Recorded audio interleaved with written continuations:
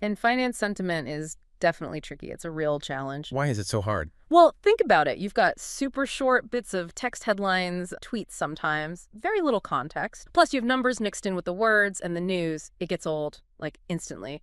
Its relevance just evaporates. Okay. And how did people traditionally try to teach AI about this?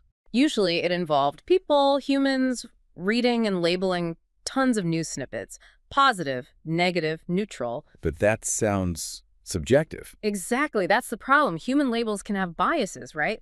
What one analyst thinks is positive, another might just see as, well, neutral information. It doesn't always line up with how the market actually reacts. Okay, so human labels aren't the perfect ground truth for market sentiment. What did this research do differently then? Ah, this is where it gets clever.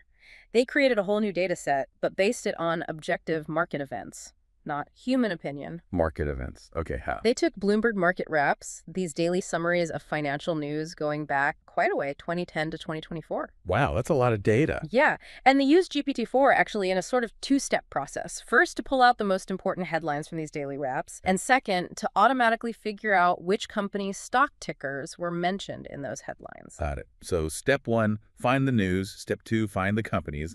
What's step three? Labeling the sentiment. Precisely.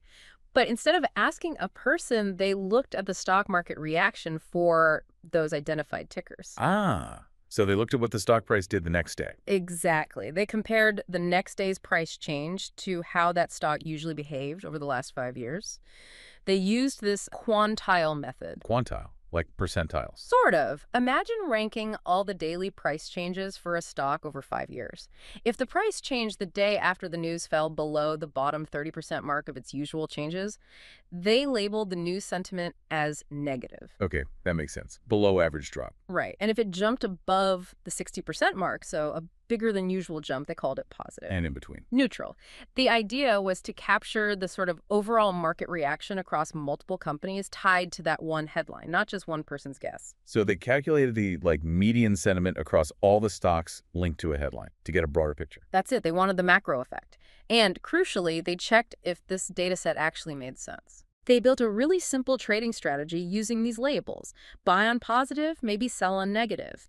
And guess what? It worked better than random. It did. It outperformed a random benchmark. Now, there's a bit of look-ahead bias acknowledged there, but it strongly suggests the labels captured something real about market tendencies.